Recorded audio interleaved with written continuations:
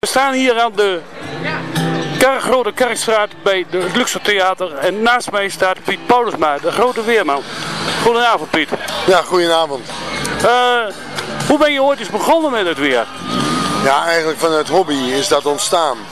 En ehm zelfstudie en eh, met behulp van een wetenschapper ja, toch meer en meer van het weer leren. En uh, weersverwachtingen maken, weerkamerervaring opdoen. En uh, zo is het gelopen. En altijd geïnteresseerd gewe- geweest in het weer? Nee hoor, beslist niet. Op een HAVO had ik een, eh, een proefwerk met een 4 op, oh, dat ging over hoge en lage drukgebieden. Dus het is wat later begonnen bij mij. Ja, nou ja, alle goede dingen komen langzaam. Maar wat vind je nou van de kreet hoe het man dat je dat van mensen hoort om je toe? Wat, wat doet jou dat? Ja, ja, dat had ik nooit verwacht. Toen wij daarmee begonnen, zei ze bij SBS, dat wordt een eh, wereldhit. En ik dacht, nou, dat moeten we allemaal nog maar eens even zien. Dat moet ik nog maar zien. En, ehm, maar het, het werkte na drie maanden al, ja.